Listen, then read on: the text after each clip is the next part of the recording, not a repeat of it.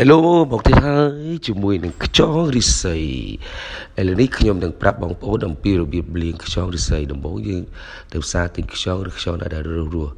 ណាខ្យងដែលរស់យើងប៉ះទៅវាល្វើកល្វើកល្វើកពឹកពឹកពឹកពឹកអញ្ចឹងណាអូខេបន្ទាប់មកណែនេះទួខ្លួននេះពេញយើងយកវាមកលាងស្អាតបន្ទាប់មកយកកំបិតវះហើយយើងនឹងឃើញលាងមុខវានៅខាងក្នុងណែតែនតែន វ៉ាវខ្មៅខ្មៅហ្នឹងហើយលាមកខ្យងឫស្សីបេះចេញវាស្អាតមកហើយបវៀនវាហ្នឹងក៏បេះចេញមកដែរណែឃើញទេឃើញទេឃើញទេនឹងនឹងនឹងនឹងយកចេញអស់មកតមកលាងដល់លើដើម្បីឲ្យវាស្អាតកុំឲ្យវាមានខ្សាច់ជាប់នៅក្នុងហ្នឹងបងប្អូនលាងតាមរបៀបខ្ញុំចឹងមកហើយខ្យងឫស្សីនេះ